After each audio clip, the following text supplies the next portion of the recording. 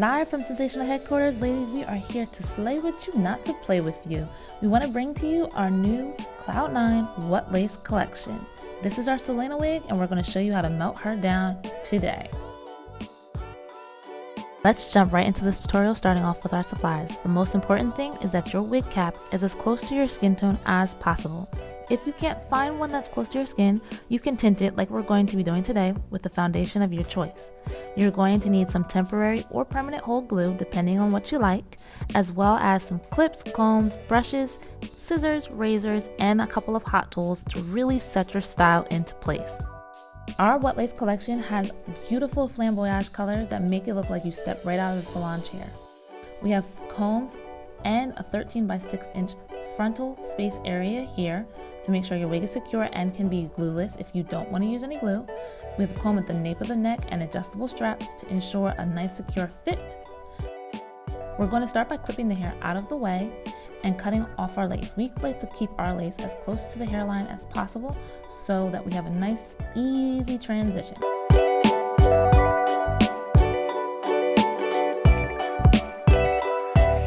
A braided down foundation is very important if you're going to be securing your wig, ladies. Placing your wig cap over top of your braids as well as over top of your ears, make sure that when you get to that ear tab section, it doesn't fly up. We're going to apply thin layers right at our hairline of on top of our wig cap with some holding spray to ensure that our foundation is nice and firm. Blow drying it helps it get extra crispity but it also makes sure that it, it dries just faster because if you try to do this install and rush it on wet glue, it will look like it.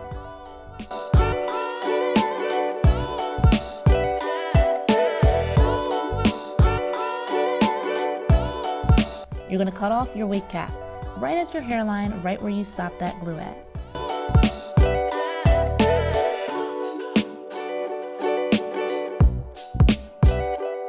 Then we're going to take those rolled up edges and we're going to glue those down as well because those edges can be seen through the thin Swiss lace on this wig. I'm applying this spray foundation to my wig cap so that it matches and when I part my hair it looks like scalp.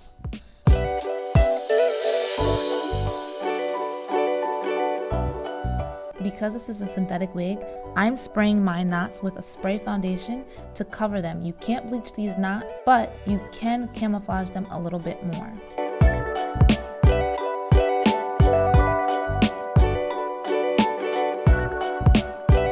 We're gonna flip this wig back and place her on our head right where we about wanted her to sit.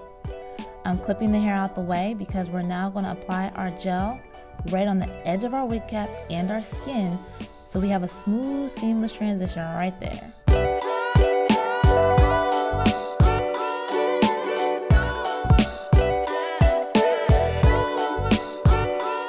I'm gonna let this dry down till it's clear or a little bit tacky, and then I'm going to adjust my wig and place it right at that hairline. Because the glue is not fully dry, I'm able to place and reposition this wig as needed. Using that rat tail comb to melt my skin and my lace and that gel to become one. This is the most important step. You need to do it in small sections and you need to take your time. Doing this with a rat tail comb or some tool, it helps ensure that the gel doesn't get on your fingers and it doesn't turn white.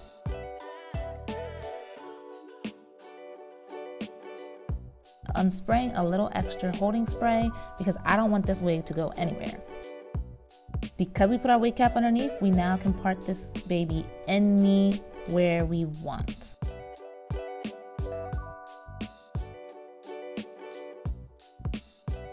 I'm opting for a curved side part.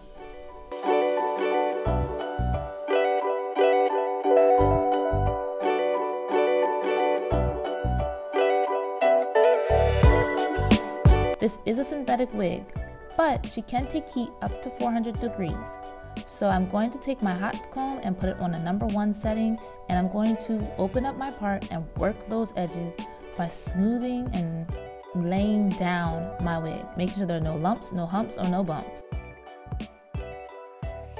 Now I'm going to work on my baby hairs. Now baby hairs aren't for everybody and that's okay, but I like them. So I'm going to section off a small section right here above my ears, right at my hairline. Taking my razor comb to thin out and also trim up my baby hair. I like mine a little bit longer so that on the days where I don't want to wear my baby hairs gel down, they can kind of just act as a nice transition into the hairline itself. Starting with my small toothbrush, I'm going to go in there and just play around, swooping and just having a little fun with my hair because this is what I like. If your ear tabs are still flying up, laying down your baby hairs with some more gel will also help those sides of your ear tabs stay down. Get into it, ladies. That lace is melted into my scalp.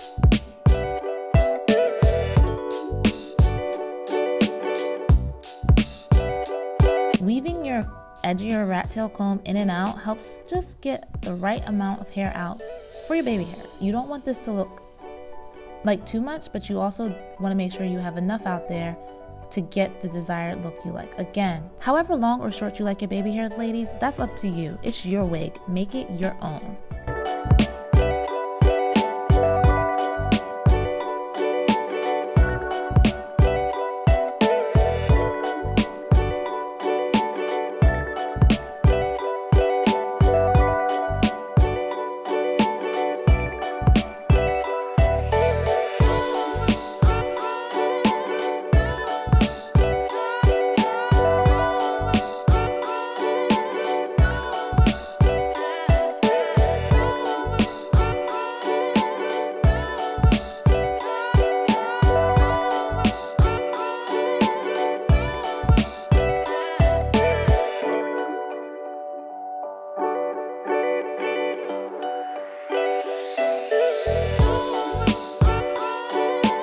All right, all right, all right. We here today with our finished slay. Just like that, because this is already pre-cut, colored, and styled, all you have to do is apply your wig and hop out the door, ladies.